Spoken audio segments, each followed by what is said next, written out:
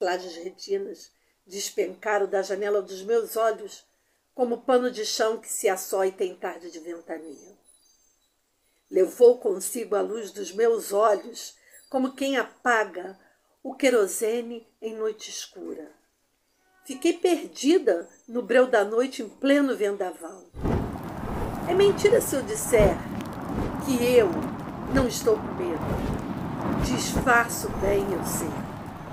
Tenho ainda um sorriso bobo e um coração de criança fingidor e debochado. Debocham dos meus temores, acendendo vontades inexplicáveis no meu peito.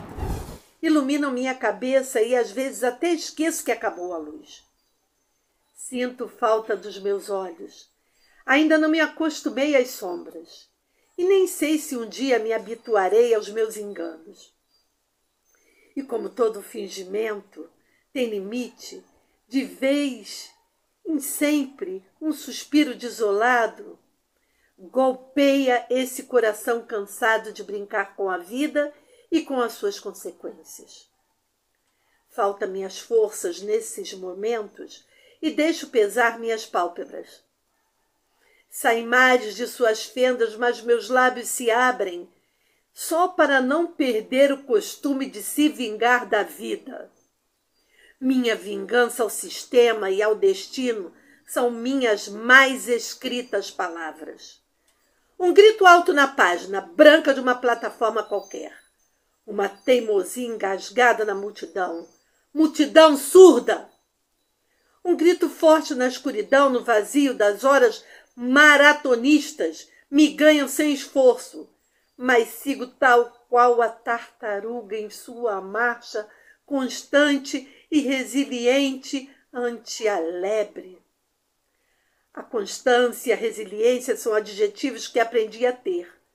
Não por conveniência, mas por não restar outros que me vista com mais elegância. Sou favelada, mas gosto da fineza Deixo o escabro e o escândalo para os meus textos. A minha vida gosto da melodia, da descrição, uma sequência de jazz no lounge de um bom hotel. Nem sempre foi assim, minha cabeça, mas parecia um bloco de carnaval na Cinelândia com o baile funk do Teixeira. Acho que estou ficando velha. Uma velha cega, a velha Úrsula dos cem anos de solidão, essa solidão que sempre me foi companheira, nem sempre foi boa, mas presente, constante, fiel. Tão fiel quanto minha mania de seguir insistindo no impossível. A utopia é minha irmã siamesa. Como me livrar dela?